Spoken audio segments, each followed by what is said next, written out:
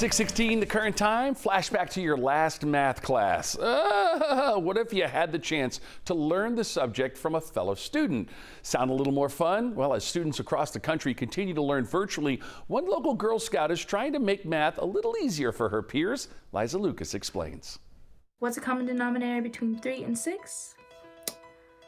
6. Fractions, ratios, geometry, and multiplication, math can be daunting. But Gabrielle Tobin has a mind for numbers, and when coronavirus closed schools, the ninth grader saw a chance to help. I knew the Cobb County School District was shutting down, much like the rest of the country, and and I immediately thought of my, thought of my peers. Like the kids she knew at Lindley Sixth Grade Academy. Knowing the challenge of math and virtual learning, she and her friends created their own videos to help kids remotely. We are in the same age range as them, so it's easier for them to connect with us and to hear a voice that is similar to theirs. Just sit back, relax, and let's learn some math.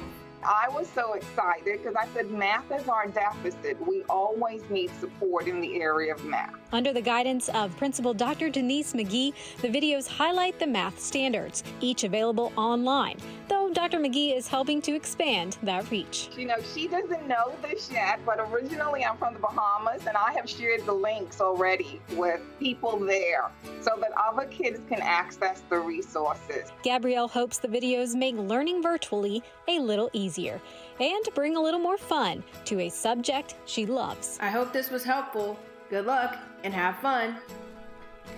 All right, this project all part of Gabrielle's endeavor to get the prestigious Girl Scout Gold Award. I think she's going to get that. She's hoping to reach even more students across Cobb County School District. And if your child would also like to take watch or watch the videos, you can find a link on 11alive.com. Chesley McNeil, I know we have an 11 on the Wazometer.